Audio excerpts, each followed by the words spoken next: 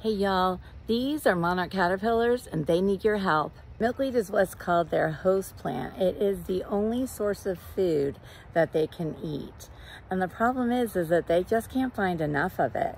The monarch butterflies, the females, can't find milkweed to lay their eggs on, and therefore these guys never get to live or grow up and become more monarch butterflies. But you can make a huge difference in helping these monarch caterpillars to grow and thrive by finding your local native plant nursery and buying at least five native milkweed plants and planting them in your yard because we need more of these guys in our world.